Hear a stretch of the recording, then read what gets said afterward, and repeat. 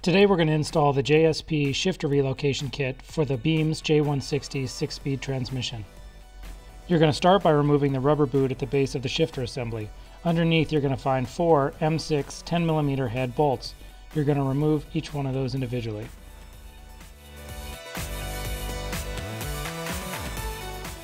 Once all of the bolts are removed, the shifter should remove easily out of the housing. Set the shifter aside, and now you can remove the four M8 bolts that hold the shifter stock to the tail shaft of the transmission using a 12mm socket.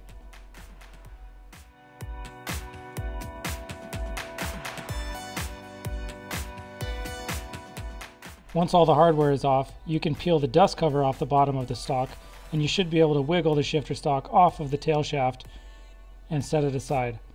The rubber boot should also slide off backwards and pull off the back of the transmission pretty easily.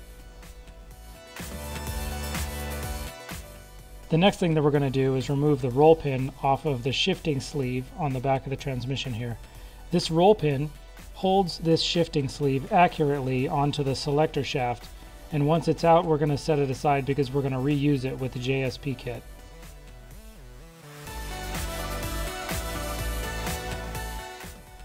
The last thing we're going to do is take off this M8 12mm head bolt, and this is the last thing holding the shifter sleeve onto the transmission.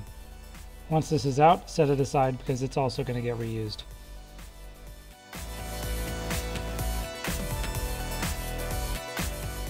So what comes in the kit?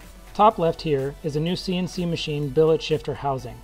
On the top right is a new shifter sleeve and shifting lever that are both zinc plated. Bottom left here are two sets of shifter housing spacers that adjust the height of the housing depending on which transmission you have.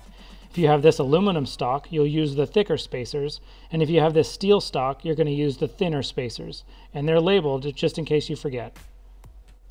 The first step on assembly is to take this shifter sleeve and slide it onto the back of the transmission. Before you slide it on though, take a rag and clean the surface to make sure that it's really clean. This is a precision fit, but should slide on pretty easily. You're going to align the hole and you're going to reuse the bolt from the original shifter sleeve to align this shaft so that you can press the roll pin in. When I'm working on transmissions that are outside of the car on a table, I like to use something to support the selector shaft while I'm hammering roll pins. In this case, I'm just using a block of aluminum so that when I hammer the roll pin, it doesn't put the shock or the impact directly onto the shaft. Once the roll pin's all the way in, you're just going to go ahead and tighten down that M8 12mm head bolt all the way.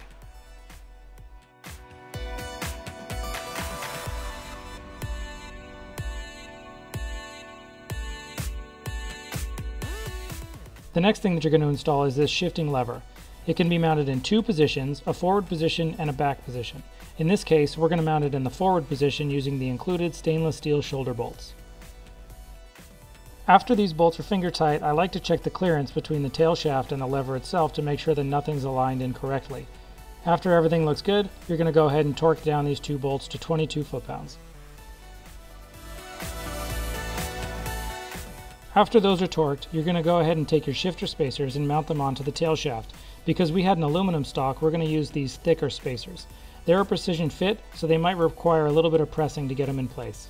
Since we're mounting our shifter in the forward position, we're going to take the second longest bolts here and put them in the rearmost holes to attach the spacers onto the tail shaft.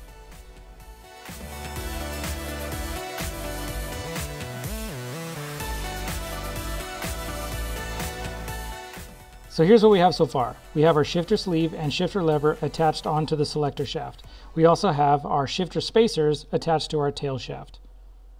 The next step is going to be to remove this little spring washer out of the old shifter stock. This is going to be reused underneath the shifter assembly inside the new shifter housing.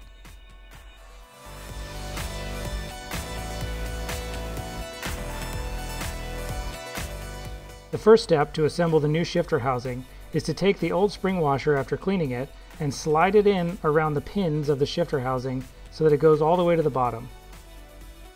Now you can install the old shifter in the same way. Slide the lower bushing around the pins and then rotate the shifter until the grooves on the side align with the pins as well. Once everything lines up correctly, it should slide into place.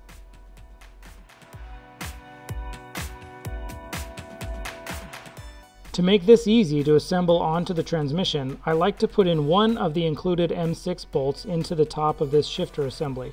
This will hold the shifter into the shifter housing so that you can install it easier. To install the new shifter assembly, you're just going to want to align this lower bushing here into the lever. You're going to slowly bring it down and rotate it so it slides in easily. To secure the housing to the transmission, we're going to use these long included M8 bolts on the front half of the shifter housing.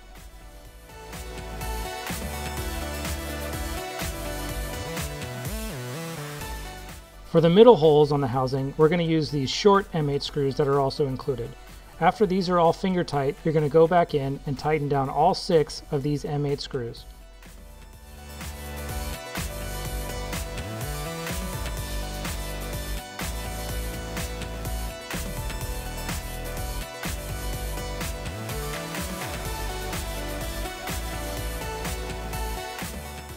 Now that the housing is secure, you can go back in and put the remaining M6 bolts that hold this shifter plate onto the top of the shifter housing.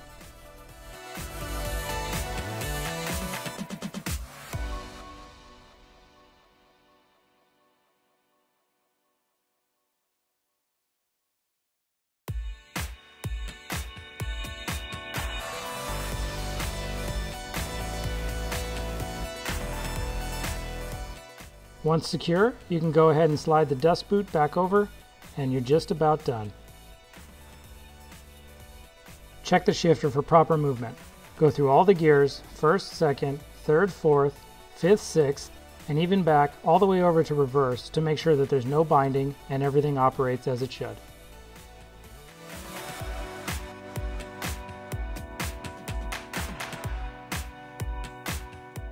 If you have any questions about the JSP Beams J160 shifter relocation kit, please comment below or email us. Our email address is in the description. Thanks for watching.